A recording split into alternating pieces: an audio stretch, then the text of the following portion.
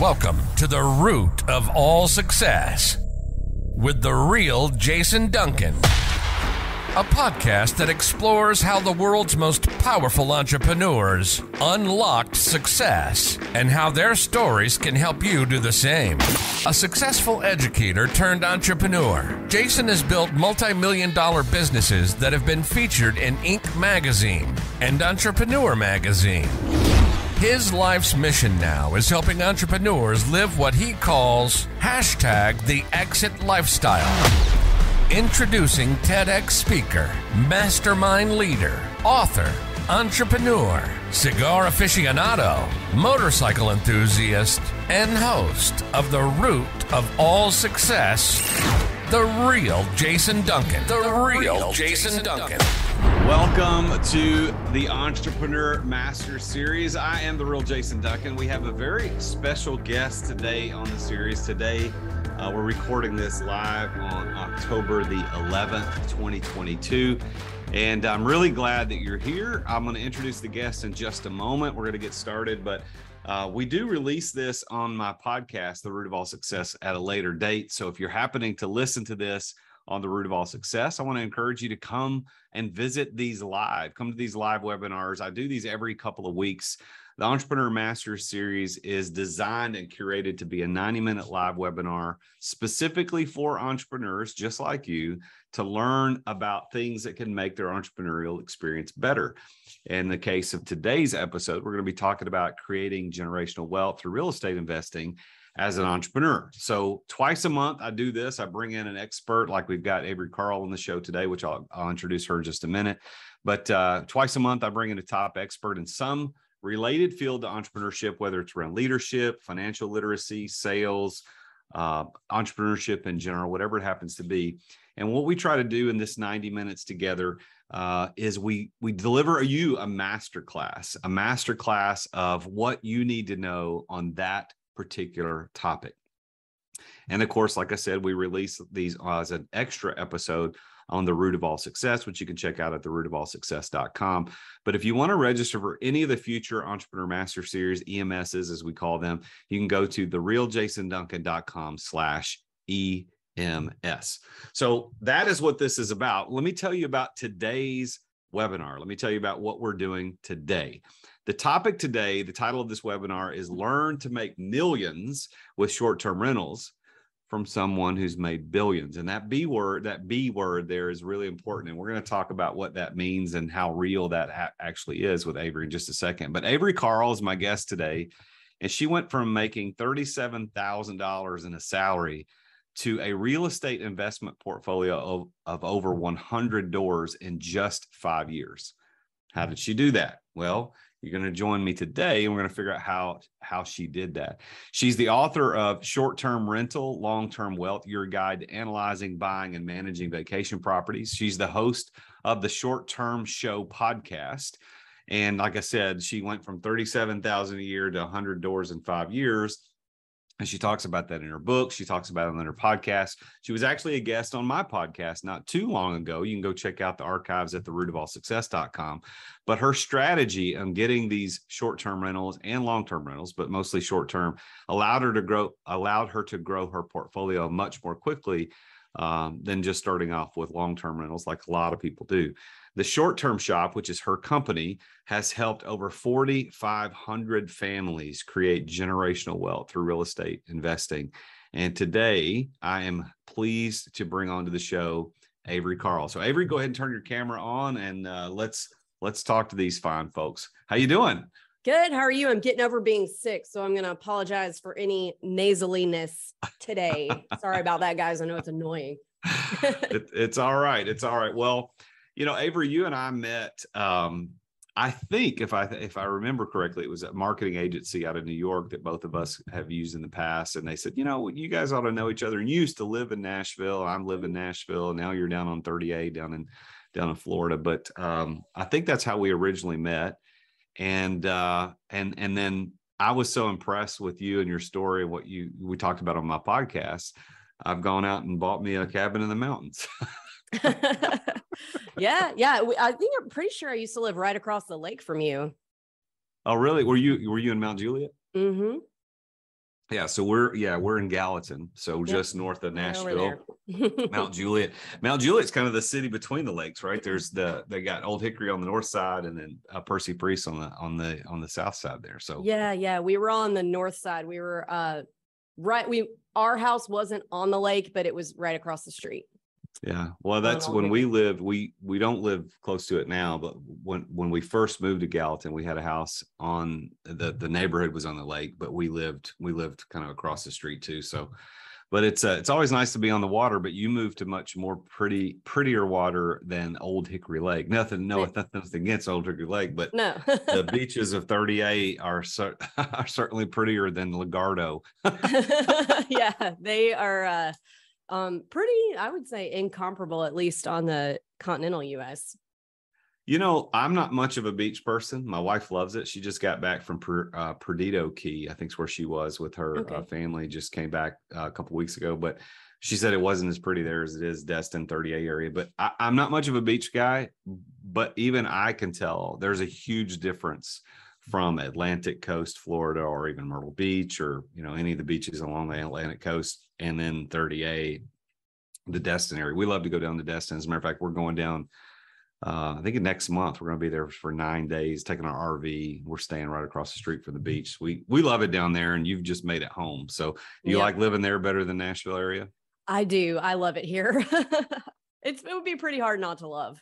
Yeah. Well, you you're in a pretty cool place there, and and uh, your husband Luke, you guys have got something pretty cool going down there. So let's let's do this. So the idea of this this particular webinar today, Avery, is we want to give the listeners the insight into what it's like to truly own and invest in short-term rentals and how to make money from that because you've done this to the degree of, of of the b word the billion which i said in the intro and i remember if i remember correctly when we talked on on my podcast which i think we recorded golly it's been a long time ago you were you were predicting that 2022 if i remember was going to be the first year that you would guys would cap or, or you would you would go over the billion dollar mark in sales in an annual year is that is that right That is right. As of right now, our trailing 12 is over a billion, but we will also hit it for the calendar year um, of 2022.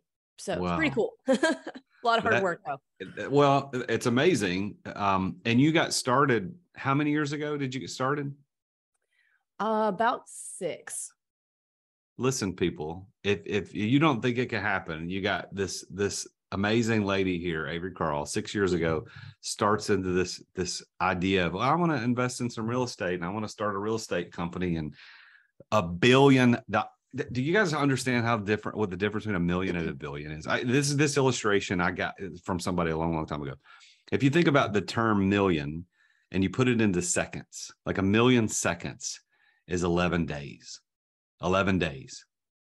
A billion seconds. How many days do you think that? Do you, have you ever heard this, by the way? I have ever- not. No, I'm uh, really How- uh, hear how many days do you think a billion seconds is? I don't know. So if a million's 11, how many days do you think a, a billion is? I don't know. Math is not my thing. I'm more of a marketing, like creative. So you 30 just tell me. 32 years. 32 years. Oh, I was thinking you were about to say 30 days. No, 32 years. So so there's lots of people that sell them. I remember back when when I was uh, uh, uh in my early 20s watching real estate people like, "Ooh, I hit the million dollar club, hit the million dollar, sold a million in one year in real estate." Listen, That's, That's two 11 sales. that's nothing. That's nothing. So um congratulations to you. So so tell tell me a little bit, just give a little bit of background on the short-term shop and how you got that started and what you guys specialize in. Then we'll get into some nuts and bolts. Sure, sure. So um, I started the short term shop on our second short term rental purchase, mainly because, well, for two reasons. One, because my husband is a terrible client and he was constantly embarrassing me in front of real estate agents. So I was like, I'm just going to get my my own license and do our deals. I don't make any money anyway. So if I'm doing our own deals, then uh, you know that'll be some extra income for us. So that'll be great. Um, and the shop kind of came into being by accident because we realized there weren't really any agents in the space when we were buying that could answer even our most basic questions about how to choose a property as a short-term rental or how to run a short-term rental in any capacity or even just basic questions like hey how do you find a cleaner for this thing how much do you think this is going to make So um, it started with just friends of ours saying, "Oh, you're making how much on that cabin? I want one. You're an agent, right? Help me find one and teach me how to do this." So started like that, and then it became more friends, and then it became friends of friends, and then it became truly clients. You know, people that you don't know that I didn't know. And then it just grew from there. And I really tried to fight it too, because uh, I thought, man, I don't want to pigeonhole myself into only doing short term rentals as an agent uh, you know, the real money is in selling the big primary homes and not investments. And and I was just trying to fight that so hard, trying to be everything to everyone in terms of a real estate agent. And finally, I quit doing that because it took this is a really silly story, kind of. A friend of mine sent her parents to me and they fired me. I just sold I think like $25 million worth of real estate in the Smokies as uh, short term rentals. Her parents fired me because I didn't know where to find the serial number. It's not even called a serial number, it's called a certificate of something, something. I didn't know where to find that on a $50,000 mobile home. They fired me after I just sold all of this. And I'm like, you know what? This, no, I'm not going to do primary homes anymore. I'm making all of this money. I'm making all of these, you know, I'm having so much success over here doing this investment stuff that I'm trying to not pigeonhole myself into. I'm just going to go all in on that. It's not pigeonholing, it's, you know, going all in. And as soon as I did that, the business just kind of exploded. And what we do, so uh, when buyer, we only work with short-term rental buyers and sellers. We don't take any other type of client. So if you want to buy a long-term primary home, we're sending you elsewhere. And that's all we do all day, short-term rentals. And um, it just grew quickly. And we opened up more now in 15 markets in eight states and our all of our clients who come to us to buy we also put them through a training program and teach them how to manage their short-term rental and we do that for free if you buy the house with us. So um, basically and we do it all while you're under contract jason you know because you just bought with us. So uh, we do all that while you're under contract so that by the time you close mm-hmm. you have a really good idea of what you're doing so that when closing day rolls around you're pretty ready to go to start making money well, I can uh, I can vouch for for you guys. Mm-hmm. I, will give a shout out to to both Rush. It's Rush Valentine, right? I got his name mm-hmm. right. Yep. He he what was the name. guy that we we used down in Florida, and we will buy one in Florida. We we had a contract on one back in January February, fell through because of some of the uh, inspection issues, and then. Mm-hmm we hit pause because I thought I wanted to buy a motorcycle dealership. and that I wasted lots of time and money on that. And then I used uh, one of your agents, Matt Castle, in the Smokies, and Matt helped us locate and find the uh, find the perfect spot in Sevierville, which is in the Great Smoky Mountains. And we just closed on that on September 22nd. And uh, man, uh, like the the the the I guess the the feelings of signing those paperwork on on a property that expensive, that is the most expensive piece of real estate we've ever bought, even including personal residences. We we've lived in some uh, you know nice houses before, but we've never bought one that expensive because we just bought a big we bought a big cabin and uh, we absolutely love it. It is we'd love to live there, but it's not what it's for. Uh, right. But we're heading. You know, we we stayed up there all week last week. Uh, we're getting it ready. We've got we're rebuilding the deck, putting a hot tub on it. We remodeled the bathrooms. It was not a short term rental before; it was a uh, second home. But um, so we're heading out there as soon as you and I get done this this Zoom today. I'm heading right back, and we're going to spend the rest of the week getting into all the final details. But my success story, which should encourage the listeners, is that we listed it Sunday night on Airbnb and Vrbo. Uh, don't know what we're doing, and by the way, that process was a lot harder than we ever anticipated. Airbnb and Vrbo thing took like four hours. I don't know if we're stupid, yeah. but it no, just took forever. It's just intensive. Yeah. Well, so we listed it the following morning. Like we woke up the next morning, we had a booking. Uh, and we had put that he booked it, the dude that booked it booked it for Thanksgiving week, and we had put the price like double Thanksgiving week and double on Christmas and New Year's week because I thought that's what you're supposed to do. And dude booked it for that week. And I'm like, holy crap. Uh, and then we've had two more bookings since then. We even had somebody just message us say, "Hey, can we can we get it? Are you going to decorate for Christmas?" Which we didn't know we were supposed to do. And oh, uh, yeah, so it's it it's it's not you know we don't have enough bookings to pay the mortgage yet, but we're working towards it. It's only three days since or two days since it went live. So you guys know what you're doing. And the Management Monday workshop that you guys put us through was fantastic. All the documents that you share. So big big props although this whole thing is not really about the short term shop but big props on short term shop for what you guys were able to do for us. You, you guys you. killed it. Thank you. Well thank you for your business. We appreciate that. Well we're going to do more. we want to we want to own we want to chrissy and i want to own four as soon as possible like as soon as we figure out how to how to finance them and get them get them in our portfolio. And then once we get four then maybe 24 but you know I, we'll, we'll see. We'll see. We'll go four. Now what's the difference? Let's go really basic. What's the difference between okay. short-term rentals and long-term rentals? So short-term rentals are typically, depending on which state you're in, anything under 30 days. And so what I focus on uh, are properties that can be what I would call a true vacation rental. So, you know, you're looking, it's not like traveling, it's not like corporate housing or traveling nurses or anything like that, which is kind of getting lumped into short term rentals now. Um, it's true vacation markets where people are coming there on a vacation, typically not longer than seven days. So, technically, anything under 30 is a short term rental. Vacation rentals are typically like seven ish. Okay, so it's exactly. There's no mystery. A short-term rental is less than less than 30 days. I think laws change when you rent longer than 30 days. Am I right? Yes. If you ever rent to anyone longer than 30 days through Airbnb or Vrbo, get a real lease signed because if they stay longer than 30 days or even at 30 days, they now have tenants' rights and they can squat in your property. And if you don't have a lease, then you're you're in bad shape. So make sure if you're renting 30 days or longer, then you have a, le- a real lease signed. Okay. So short-term rentals we're talking primarily vacation rentals which is what my wife and i purchase is what you guys do. Um, why why are people wanting to do this as opposed to you know any any why, why short-term or long-term? What what what's the advantage? So let me preface that answer with this. So I'm not one of those short-term rental people that's going to tell you short-term rentals are the right and only way. Nothing else is worth investing in. So I actually just closed on my 220th door. So we went up about 100 doors since last time I talked to you. Wow. And um, we're about to sign a contract on what will be another 54 doors. So that'll put us in the 275-ish range. Um, and only eight of those are short-term rentals. So my strategy and my mindset is the reason people would invest in short terms rather than other types of real estate is because they cash flow so much heavier. For me, I was able to scale my portfolio so quickly because we invested in short term rentals really heavily at the beginning. So, five of our first six investments were short terms. We still buy short terms. I bought my most recent one about eight months ago.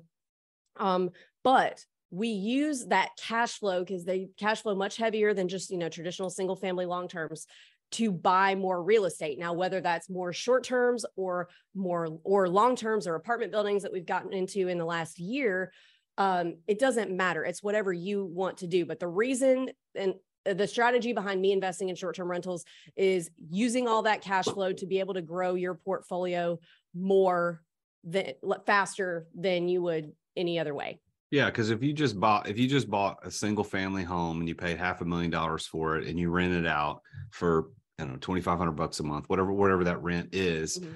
you might clear what like a few hundred, maybe a thousand if you got it super cheap or you paid cash for it or something. But you're not going to clear that much. But with the short with the half a million dollar short term rental property, you could clear you know what two or three or four thousand dollars a month, right? Mm-hmm. Yeah, yeah. And just to give you guys some context, so I do buy single family long term rentals right now too, and it's really just to make sure I have a good diverse portfolio. And we shoot for like between 350 and 500 cash flow a month on those, whereas our short terms, our smallest one, cash flows at least 2,500 a month, and that's a studio.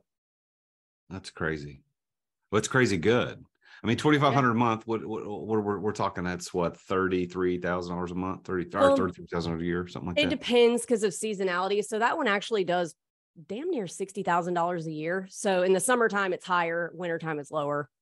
That is crazy. Well, yeah. I mean, and that's what we're hoping. I mean, we look at we're looking at our property and we're looking at what the mortgage and carrying costs are just for for keeping you know owning that type of cabin you know and we we feel like that at the rates that we could rent it for we could probably I'm hoping that 50, 50 to 60 grand would be realistic and what we could clear but I know that the the ramp up cost because it wasn't a short term rental. So even though it came furnished, a lot of that stuff was crap. No offense to the people who owned it before right. us, but they didn't. it was like we had to throw out so much stuff, and we're having to buy new furniture, new new appliances. Well, not new appliances, but we're having to buy new stuff. So the cost to set ours up is a little different. And I know that you kind of you specialize. I know when we were talking with Rush and Matt, um, both of those guys, the real estate agents, were telling us, "Hey, we're we're not even going to show you a single family home that somebody lives in to purchase for short term rental. We're only going to show you either second homes or short term rental homes, so that it's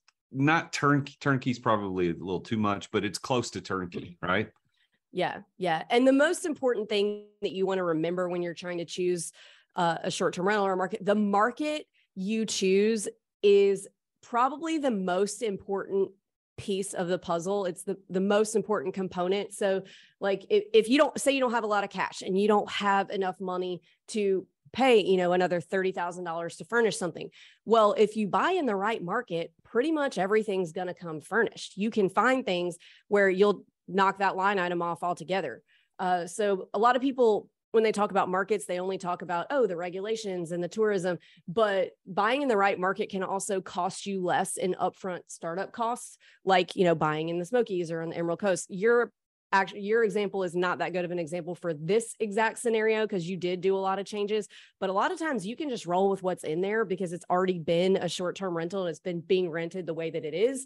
And I we do something we call letting the renters pay for it. So where we'll just let it roll the way that it is, make some money, and in the off season, then we'll change out the furniture or you know change the countertops or whatever it is that you want to do. So market makes a big difference in terms of that furniture expense. Well, I tell you, my wife and I've had uh, some we'll say discussions about the living room furniture. The the the the the, the uh the La-Z-Boy the the re- recliner had to go. Like it was it was it was threadbare. It was leather and it had been rubbed. Evidently they had a dog in there that that scratched mm. up pretty bad. So we threw that out. But the couch and the couch and the love seat were like eh they're okay. They're okay. Mm-hmm. they're not bad. They're comfortable and she's like, "We got to get new furniture." And I'm thinking, "Look, just rent the thing. Thing. I don't yeah. think we're going to get a, a four star rating or three star rating or a one star rating just because the couch isn't 100 percent up to norm, like up to looks like it's off the showroom floor. But I think yeah. I think she's winning, and we're going to be buying new living room furniture this week. well, I mean, that's kind of like par for the, especially in the Smokies where it's okay to be a little bit grandma. Like you know, it's not Palm Springs where everything has to be brand new, totally modern, like decorated to the nines. In the Smokies, it's okay to have like the black bear decorations and the kind, you know, that stuff that you wouldn't have in your normal house is kind of okay there as long as it, you know, makes sense for the room. So, so what should a person getting into short-term rentals who wants to? And I know a lot of people listening to this are like, hey, I've always wanted to, to get into short term or I'm interested in short term. What's the what do you have to have to get into short term? Because and I'll and I'll preface your answer by saying one of the things I did not realize is that there's DSCR loans, which stands for debt service coverage ratio. And I'll let you explain what that means. But I didn't understand that. It's a little different, even though mm-hmm. it's changed a lot because our current administration's nuts and they're changing stuff and they're printing money and it's causing all kinds of havoc in our in our um, in our economy. But uh, you don't have to have as much money down, and and and they they don't look at your income the same way. Like, so what would someone need to think about before they invest in a short term rental the first time? So the main two types of financing are really like one A and B, and then two. Uh, the main two t- types of financing are going to be conventional financing and then DSCR. So, conventional financing, that's going to be the easiest to find. That's your regular old Fannie Freddie. You can find it any, by Fannie Freddie, I mean Fannie Mae, Freddie Mac loans that you can find at any bank or mortgage broker across the country. Um, those you're approved based on your personal debt to income ratio uh, credit score, all that stuff. You know, they're going to want to see your pay stubs, your taxes, your firstborn kids, blood sample, like all of that stuff. Um, it's also going to have like all that stuff super annoying, but conventional is always going to have the lowest interest rate. So keep that in mind. It's the easiest to find, always the lowest interest rate. You can, a lot of people don't know this, you can get a conventional investment loan for 15% down. A lot of people think that it's 20% because a lot of banks only allow 20%, but the Fannie Freddie rule is actually 15. So you can get a 15% down loan up to, they just raised the jumbo limit. So you can get a 15% down conventional up to a purchase price of about 845,000. So that's a really great option. Um, it's going to be the easiest. There's also something called a second home loan, also conventional products. So again, based off your personal debt to income, your credit score, all that stuff.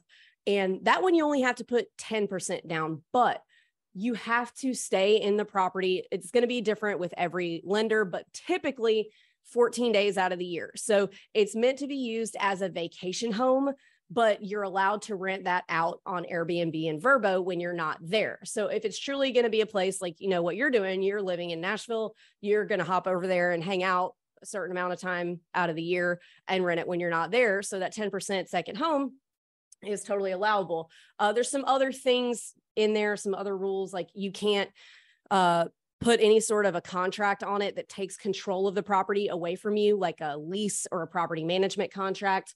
Uh, you can't have more than one in the same market. So you can't go to Gatlinburg and buy 10 vacation homes. Like that's that would be mortgage fraud. Um, and then it has to be, again, this is not a black and white rule. It's going to be different with different mortgage companies. You typically about 65 miles away from your primary home. So you can't, you know, you can't get a loan on the house next door to you as a second home loan. So there's a bunch of rules to make sure that you're operating within the lines. Uh, but if you're, my advice is if you're like running spreadsheets on something as an investment, I would just go ahead with that 15% down so that you make sure you are well inside the lines, no gray areas, good to go. That was 1A and 1B. Now, part two, the second type of financing is DSCR. So, DSCR stands for debt service coverage ratio. So, these types of loans, they do not qualify you based on your own personal debt to income ratio. Uh, they're, they do look at your credit score, but these are really good loans for people who have unconventional income. Or maybe you know you just recently switched from a w2 to 1099 work and you don't have two years of 1099 income to show to get a conventional loan so you can get a dscr loan. So what they use to qualify you with a dscr loan is what the property will make they need to see that the property's income will cover the debt service so debt service coverage ratio loan on a one to one ratio. So if the mortgage is going to be $2,000, they need to see that you're going to, that it's going to make $2,000 a month. So one to one, 2000 to 2000 um, to, to give you the loan.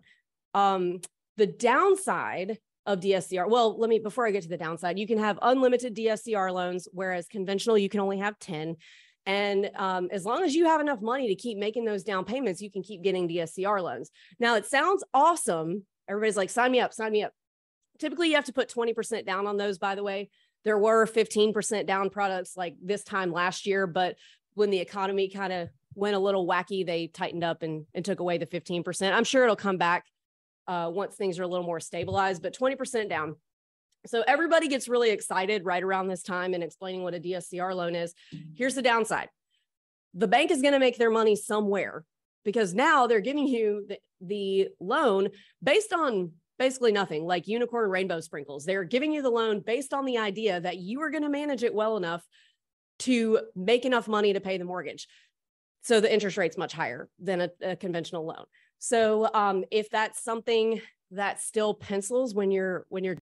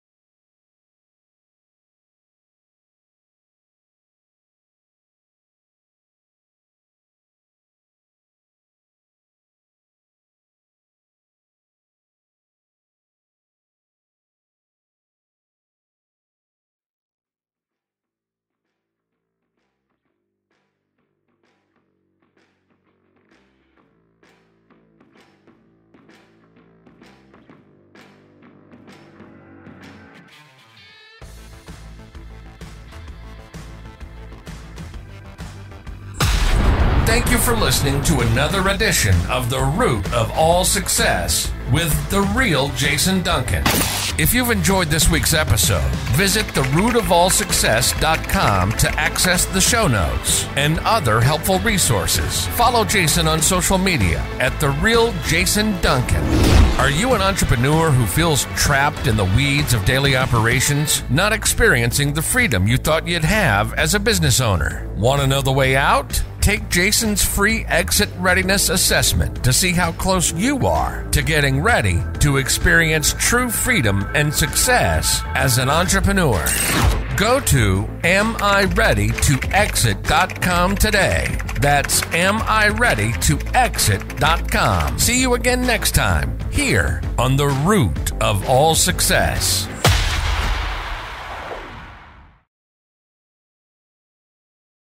This podcast is a part of the C Suite Radio Network. For more top business podcasts, visit c-suiteradio.com.